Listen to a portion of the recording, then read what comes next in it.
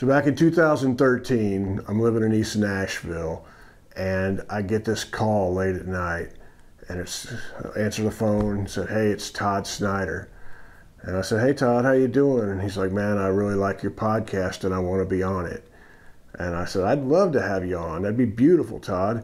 How about next Tuesday? Maybe next Wednesday?" And he says, "No, man, I want to do it right now." And I said, It's kind of late at night, man. I think it was like a Tuesday night. And he's like, No, I want to do it right now. And I said, All right, man, well, come on over. He shows up. He comes with his buddy Brian, who drove him over. It's past midnight, and Todd had been doing mushrooms and ecstasy for the last two days, and he said he hadn't slept. And man, he was feeling no pain, and he was in top form. We sat down and recorded it and had one of the stranger evenings that I'd ever had. It was a true East Nashville experience. Todd Snider tripping balls on your couch. That's about as East Nashville as it gets. This is a small part of a much bigger interview, and I'll link to the rest of that interview down below. But it's one of the more popular episodes of my podcast, and it was a very fun evening. My roommates Frankie and Malcolm will probably make an appearance somewhere in there. They love hearing Todd Snider tell stories. And this is a good one. Todd talks about his love of John Prine, amongst other things. I have a few things I want to say on the other side of the interview, so stick around and I'll catch you on the other side. But imagine we're sitting on my couch in East Nashville listening to stories from Todd Snider. Uh, I forget what was the question, man. I mean, cause I'm mushrooms I like and ecstasy. I've done been doing all day. Today, I'm fucked up now. You wouldn't believe what your house looks like to me, man. I'm tri- I'm serious. I'm been tripping balls for two days. Would you like to describe my house? Uh, what it looks like to you right now? These bats that are hovering over the top of me are uh, conspicuous. Is that, uh, what's that mean? What's that word mean? No, it's normal, I guess. Everything's kind of tracking around. I've really been getting into shrooms lately because I don't drink anymore.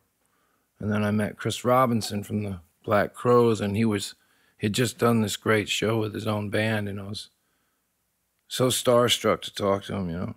And then I asked, you know, we the talk went to drugs pretty quick, and and I I, we were talking about the drugs we still did, you know.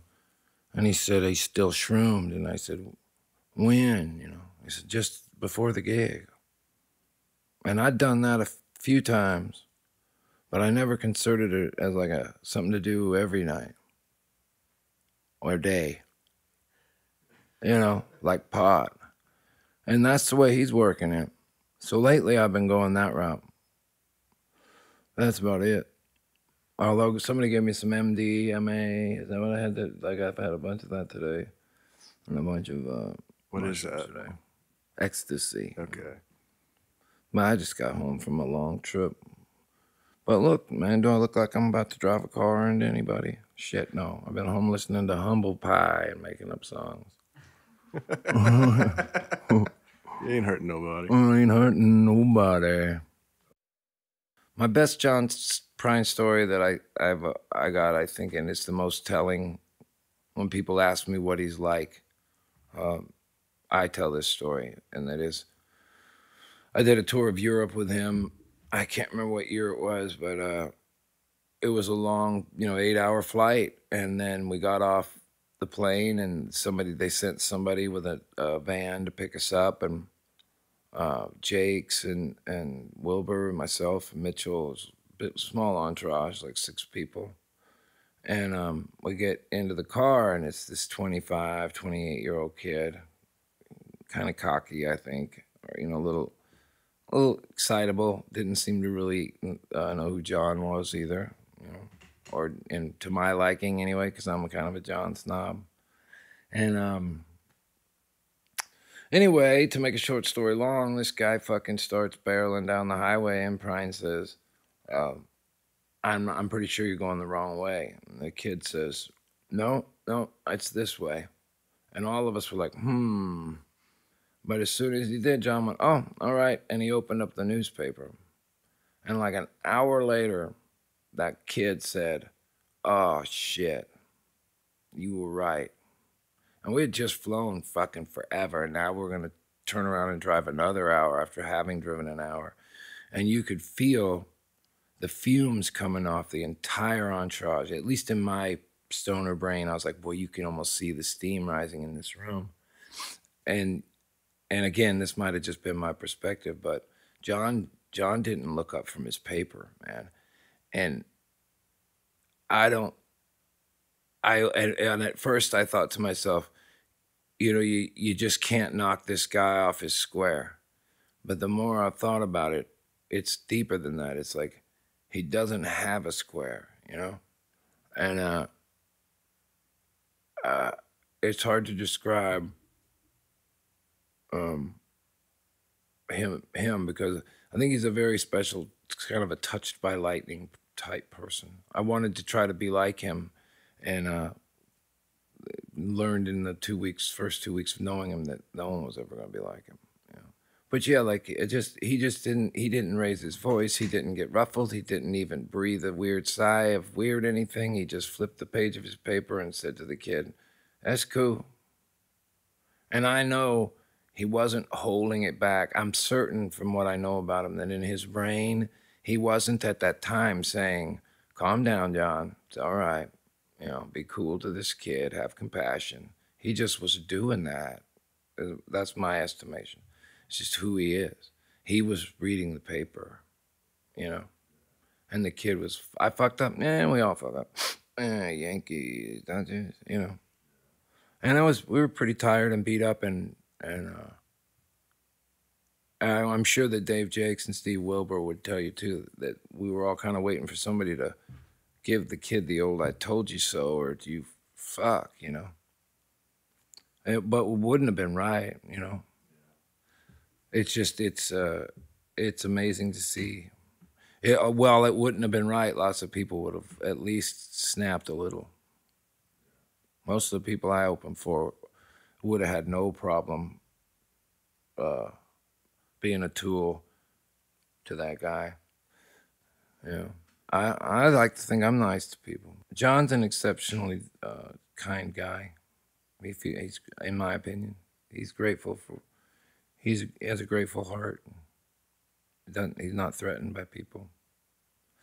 He's been good to me. He was very good to me for a long time.